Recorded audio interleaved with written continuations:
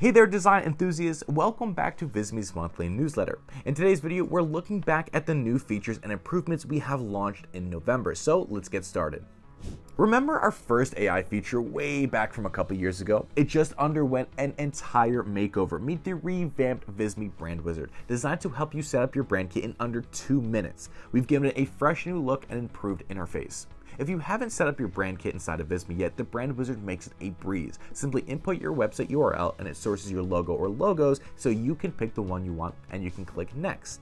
Then you'll see your brand fonts in one tab and your colors in another. You can always add or edit them manually if needed, and that's it. Your brand kit is all set. Plus, Brand Wizard applies your brand fonts and styles across our set of professional templates, giving you a set of branded templates as a bonus. Visme is your go-to tool for keeping you and your team on brand. Did you know that you can add devices, apparel, billboards, and credit card mockups to your Visme projects? Before, you could fill these mockups with photos, but in November, we took it up a notch, and now you can add videos to your mockups too. To give it a spin, head over to the Photos tab, and just above the Recently Used section, find the Mockups tab. Drag and drop a mockup onto your canvas, then hop over to your Media or My Files if your video is already uploaded to Visme. Pick your video and drag it into the mockup. You'll notice that the area where the video fits will be highlighted in green. Just drop it in there. Super easy, right? And adding videos to mockups is the secret sauce for leveling up the interactivity in your designs.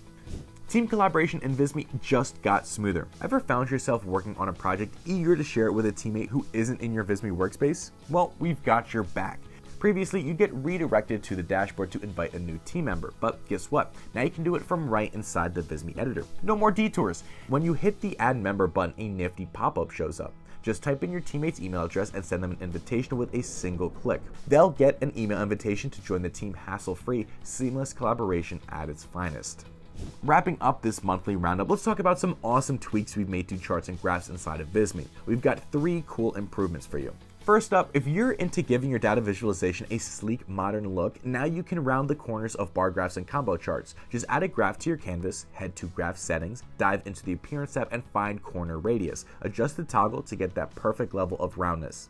But that's not all. We've polished things a bit more. Now the text in the legend wraps up neatly for a cleaner appearance. Plus, you're in control of the decimals on the axis. Go to Settings, values to tweak the precision of those decimals. Voila, three chart-tasking improvements to make your data visualization game even stronger.